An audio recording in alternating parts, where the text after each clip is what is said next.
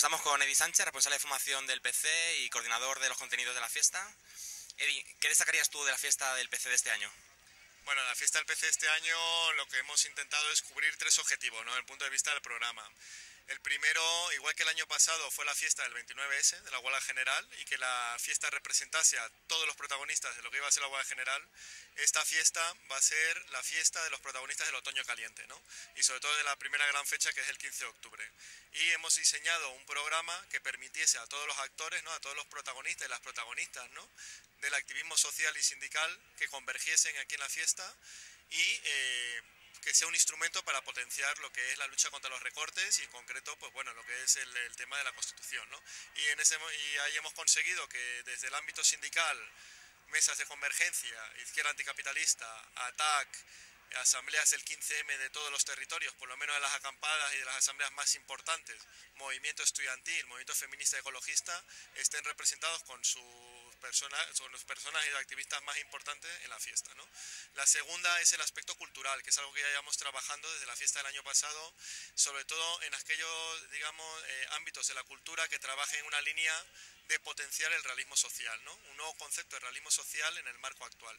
Y en ese sentido tenemos la presentación de la última novela Acceso no autorizado de Belén Gopegui, Komatsu de Javier Mestre, tenemos a Constantino Bertolo, tenemos también a Isaac Rosa, Marta Sanz y lo que ha sido el gran ámbito cultural en que han convergido todo, que es el homenaje pues, a uno de los grandes poetas sociales de este país que ha sido Gabriel Zelaya. ¿no?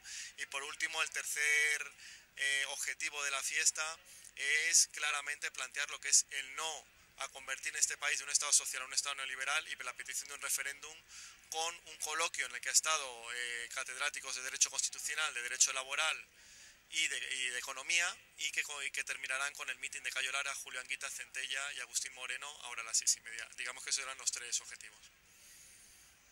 ¿Le aporta algo políticamente a la fiesta que estamos celebrando el 90 aniversario del Partido Comunista?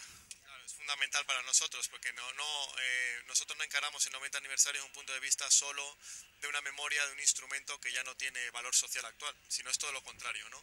Precisamente el 90 aniversario del partido para nosotros es, nosotros fuimos el partido, digamos, de la lucha contra el fascismo, el partido de la lucha por la democracia, el partido del antifranquismo y ahora somos el partido de la lucha contra el antineoliberalismo. ¿no? Y eso es el 90 aniversario para nosotros en la concreción de un partido que ha logrado que la fiesta del PC sea el único ámbito que desde el sindicalismo hasta el 15M converja en un mismo espacio. Ese es nuestro valor del 90 aniversario y el valor social del PC en estos momentos. Y bueno, por otra parte, eh, ¿qué crees que es para ti lo más destacable de la convocatoria social? Bueno, la convocatoria social es, eh, digamos, el elemento que materializa la política de alianzas que va a permitir derrotar los recortes sociales y los programas de ajuste. Los programas de ajuste son el instrumento fundamental para la burguesía y para la oligarquía financiera de reconstruirse política y económicamente. Por eso su derrota es fundamental.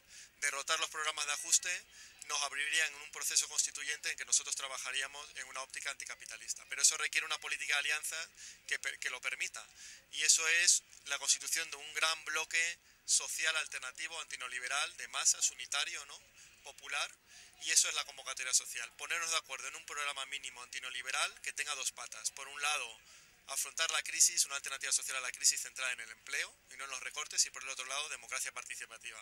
La convocatoria social es una gran unidad en torno a un gran programa que se base en tres criterios. Empleo sin precariedad, Estado social y democracia participativa.